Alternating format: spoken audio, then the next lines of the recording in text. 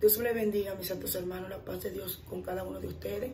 Hago un llamado formalmente a lo que serán los pastores que van a ver este video. Es tiempo de mantener la iglesia velando y orando, puesto que ya los demonios se han reunido para tratar de provocar infarto en aquellos pastores que están guardando la palabra del Señor, que están enseñando la sana doctrina.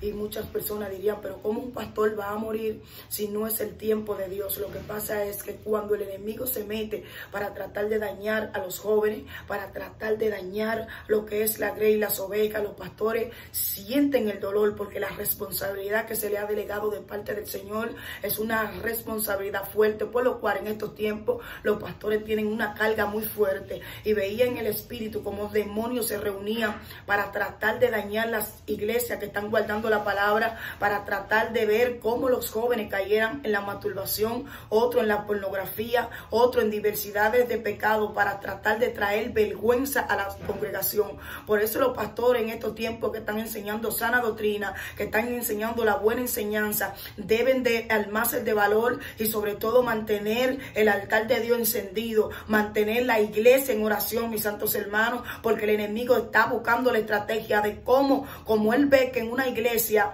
está guardando la palabra, va a tratar de utilizar aquellas personas que no están orando, aquellos personas que no están buscando del Señor para tratar de traer una vergüenza de una forma u otra para que la iglesia se sienta avergonzada. Y así los pastores de tal manera de sentirse un poco mal por ver esta condición hasta un paro cardíaco le puede dar por causa de la carga que tienen encima. El enemigo ha tratado de buscar esta estrategia para tratar de dañar a aquellos pastores que se guardan. Así pastores que en esta hermosa yo le hago un llamado públicamente, mantenga los ojos abiertos, mantenga velando, mantenga orando, manténgase buscando a Dios, porque la Biblia dice que irán al pastor y se dispersarán las ovejas. Para eso voy a leer una porción de la palabra del Señor para culminar con este llamado. Bendito sea el Señor, el cual se encuentra en el libro de los Hebreos, capítulo 13, a la altura del versículo 16. Dice así.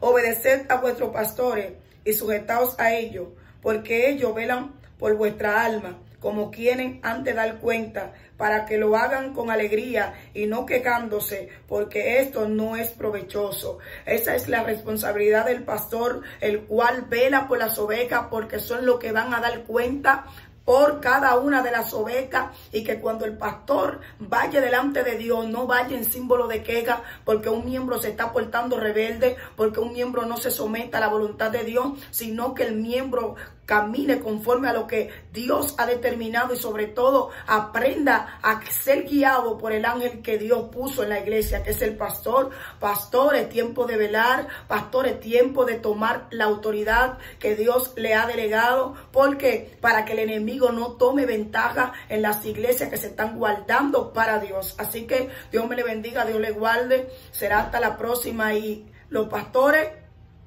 hago un llamado por este medio. Velad y orad. Velad y orad. Porque los demonios se han reunido para tratar de dañar las iglesias sana doctrina. Las iglesias que se están guardando por medio de la palabra, doctrinando con buena enseñanza, enseñando al pueblo a lo que es pecado, pecado y a lo que es puro para Dios es puro. Por ende, los jóvenes, someteos a vuestros pastores, al igual que cada miembro que se dice tener participación en una iglesia, Abran los pastores los ojos porque el enemigo quiere provocar infarto en aquellos pastores que se están guardando. Así que Dios me le bendiga en esta noche. La paz de Dios con cada uno de aquellos pastores que van a ver este video y sobre todo aquellos miembros que también van a ver este video. Ame a su pastor, valore a su pastor, respete a su pastor y sobre todo si su pastor es un hombre de Dios y sobre todo si su pastor es un hombre que le enseña la buena enseñanza y guárdelo. Ore por él, porque ellos son los que van a dar cuenta. Así que Dios le bendiga en esta noche.